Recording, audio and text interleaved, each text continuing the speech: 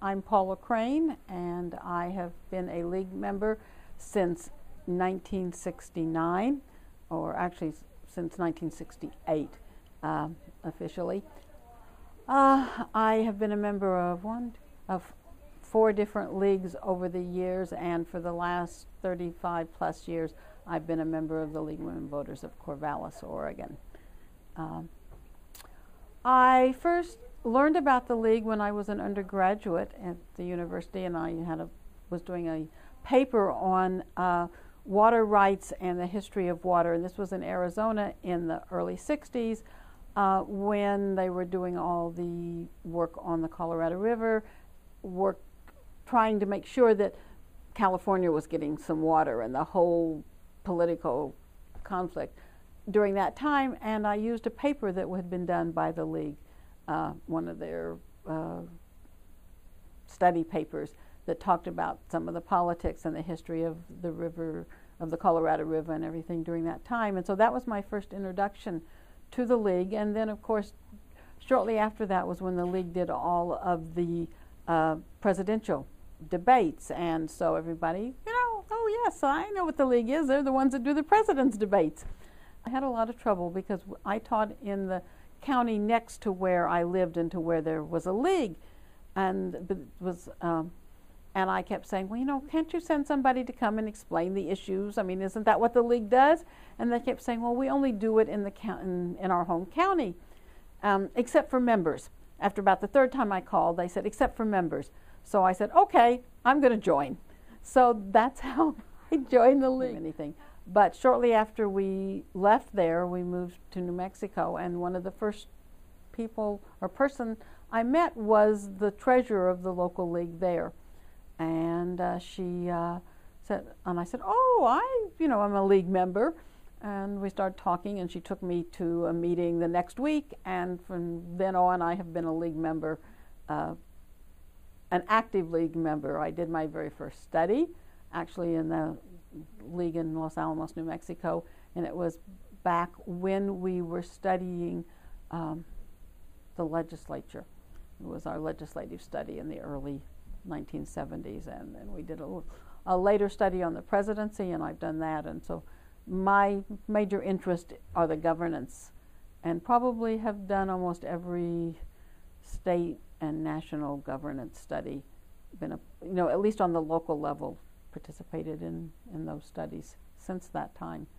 So that was kind of how I got started in the league. The, we had a local radio station that did a talk show in the morning, and it was everybody listened. They didn't listen to the radio except for those couple of hours of the talk show uh, with um, two local people, and people would come in and talk, and they'd push activities. And the league used to go in and basically talk about ballot measures.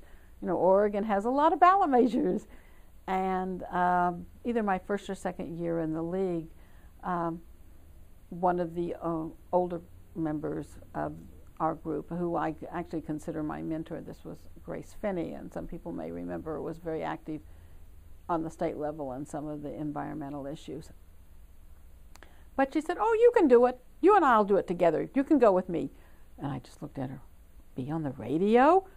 I don't think I can do that. But uh, she said, Yeah, sure you can. And we went and worked it out. And yeah, that was kind of the first time. And so since then, I've done a lot more of these kinds of things. I mean, uh, and I've always, you know, if you'd asked me, I said, Oh, I would. Uh, each step along the way. I never could have done that. Uh, when I was a state president, I went back to D.C. and participated in a vote by mail uh, seminar or workshop, or I don't even remember what they called it, which C SPAN was there. So, somewhere in their archives, I, on one of the panels, that uh, they have, you know, talking about vote by mail. So, uh, that, you know, these kinds of things I think are important that the league can do. They can help to make you, you know, give you the confidence to go and do all of these things. And each thing I do, I would have, as I said before, if you'd asked me the day before, I would have said, no, I couldn't do that. And yet I somehow or other went and did it.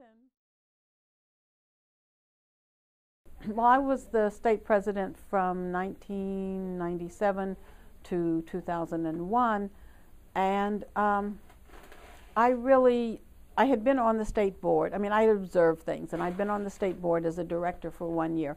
But I wasn't one of those who had been very active on the state level. I'd been very active on the local level because I think that that's, or at least I didn't up until that point, felt that that was where you could be the most effective is on the local level. I will say you can be just as effective on every level wherever you work, but until you take that next step, you don't realize it. And so, uh, one of the things that happened um, to me was I became the president, and um, the previous president um, just basically the day that she her last day in office she left the key and left the office and that was kind of the end of it and so i walked in the next day very cold you know with not a lot of the previous person telling me what i should be doing. Uh, and uh, then i'd been in office about two days and i got a phone call from the secretary of state's office saying he'd like to meet the new president. Could i please come over to his office? And i oh okay what what have i done? What's going on? So I very nicely the next day didn't wear my jeans into the office. I got dressed very, very nicely and went over to the Capitol and met the Secretary of State. Uh, we had a wonderful conversation, and I've worked, this was Phil Keisling, uh, who was at that time Secretary of State, and we've worked together on a lot of things over the years, and uh, it's been a very pleasant relationship. But I had no idea what I was getting into that day.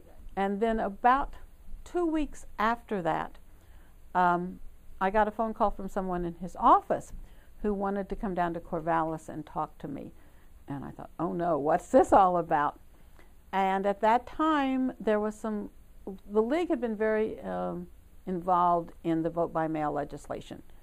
And it had been a bill that was in the legislature that session that did not make it out, it did not pass out. And what the Secretary of State's office had wanted to do was to make it then into an initiative and have the public vote on it. And they came down, and what they talked to me about was whether the league would be involved and whether we could get the league and, and me as the president to be the chief petitioner on this uh, ballot measure. So I really got involved very early in my presidency in this entire initiative process, and I learned a lot about how the state is organized in that way and out encouraging people to sign my petition. We had um, a very detailed um, discussion and almost hair pulling uh, at one of the local at a state board meeting because we were getting down to closer to the end, and one of the league's principles uh, was that all vote by mail, that all petitions had to be signed by non-paid petition carriers. Any of the people who were paid were not, you know, and in fact, I, to this day, I ask a petition carrier if they are being paid to carry the petition or whether they're carrying it. And if they're paid, I won't sign it, even if it's one I really approve, because I feel that those people who carry the petitions because they really believe in them are doing it for that reason. But we had a discussion, and this was again back in 19, oh, would have been 98, and at that time, there's some that were being paid and so, some that were being carried by volunteers. And we decided to stand by our principles, which was really great. And if we didn't make it, we didn't make it, but we were going to be an entire volunteer petition drive. And we actually did end up getting more than the signatures we needed. Um, and we didn't have a lot of signatures thrown out, which is what happens with paid petitioners because the they don't know who they're signing. We were much more particular about people who sign them and everything. And we qualified for the ballot, and we're on the ballot that year, and actually passed overwhelmingly and uh, had the highest percentage of yes votes in that election. So that was one of the highlights. We kind of monitor the access, whether things are going on properly, the process, and is things being handled properly, The citizens have access to the system, or if they come to, to testify, are they treated nicely, and, and just whether, how the process, whether the league is at a particularly hearing testifying or not, just whether things are going right. And so one of the years, um, a couple of incidents happened when I was the state president and I was on the elevator doing this one day and I had two people were just on the elevator with me and they came up and said, well, what issues are the league watching today? What are you here to testify on and what's going on? So it really made me feel good that I was known there for the league and they wanted to know what was going on. It bothers me or it worries me that there's not the generation, next generation behind us willing to take the leadership roles and step forward and move us into the future. So, know, of course, you know, somebody, when I first became state president and the membership was starting to go down, everybody said, oh, it's going to be the death of the league. We're not going to be into the next century.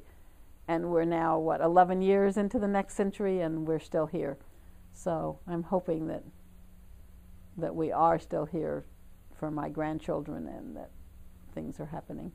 So it just, you know, made me feel good that these, you know, kind of things, that the league can be in a place and our opinions are known and we're wanted and, you know, getting the phone call from a Secretary of State's office and wanting to meet me and, you know, that the league can be a force